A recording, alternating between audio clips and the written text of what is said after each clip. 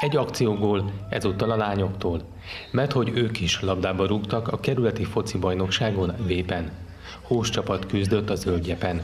Ezzel is emlékeztek a mozgalom és a harmadik nyugat-magyarországi kerület 25 évvel ezelőtti újraindulására. Ez a mozgalom ez végül is azért jó, mert mindig együtt vagyunk, és az összetartás, ami, ami meg a, hát az összetartás is vezérel minket, és hogy, hogy sokat játszunk, együtt vagyunk, és szerintem főleg ez a lényeg, hogy, hogy az együttlét. Nagyon jól érzem itt magam.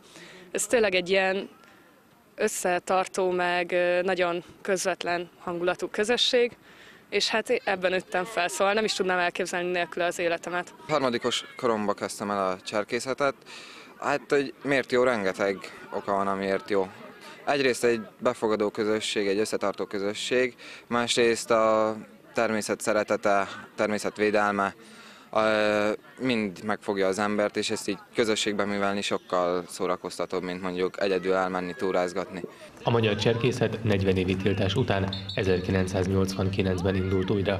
A Győrmoson-Sopron, Vas és Zala megyére kiterjedő harmadik nyugat-magyarországi kerületben jelenleg 21 cserkész csapat működik. A Magyar Cserkész Szövetség már több mint száz éves és az, hogy 40 év tiltás sem volt elég arra, hogy kiölje a magyarok közül a cserkészetet, hanem az alatt a 40 év alatt is működött a katakomba cserkészet, ahol sokan a szabadságokat és az életüket kockára téve végezték a cserkész munkát, és utána, amint lehetett, akkor hatalmas lendülettel és lelkesedéssel átadták nekünk.